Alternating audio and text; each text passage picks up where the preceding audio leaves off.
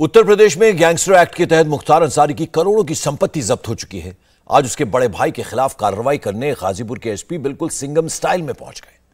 पाँच बार के विधायक और दो बार के सांसद अफजाल अंसारी पर गैंगस्टर एक्ट के तहत कार्रवाई हुई है।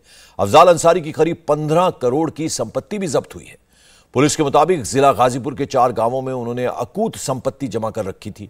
इसलिए आज कई थानों की पुलिस टीम दर्जनों गाड़ियों के साथ संपत्ति कुर्क करने पहुँच गई। खुद गाजीपुर के एसपी रोहन पी, वो इस कार्रवाई को लीड कर रहे थे। तस्वीरें आप देख रहे हैं किस तरह से